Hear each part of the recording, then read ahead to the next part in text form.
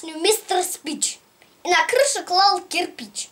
В руки взял кирпич и вдруг упустил кирпич из рук. Да, подумал мистер Спич, улетел мой друг кирпич. Как добавил он ворча башню класть без кирпича. В это время мистер Дашни шел на службу мимо башни, той, что строил мистер Спич. Шел на службу мистер Дашни, и, конечно, прямо с башни на него упал кирпич. Дашни, тронув лоб рукой, удивился. Что такое? Разлетались кирпичи, как вороны грачи. Скоро, чтобы отличиться, полетит и черепица.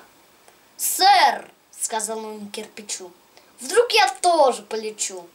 И сказав так, мистер Дашни с кирпичом взлетел на башню. «Эй!» — сказал он, мистер Спич, «получайте свой кирпич!» Не ответил мистер Спич. На него упал кирпич.